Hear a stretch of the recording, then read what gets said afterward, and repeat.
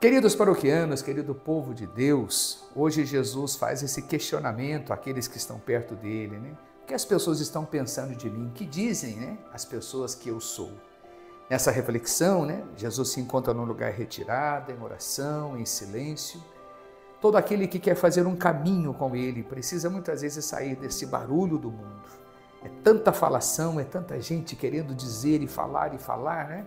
Aquela politicagem comum de todas as pessoas, e aí perdemos o melhor. Nos retirar um pouco, deixar Deus falar conosco.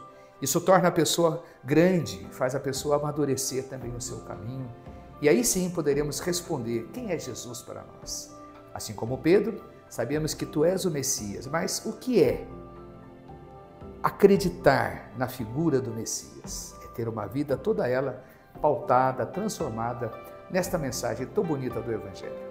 Neste dia que recordamos São Vicente de Paula, que ele possa interceder por todos nós, particularmente por tantos aqueles né, que na igreja realizam as obras de caridade.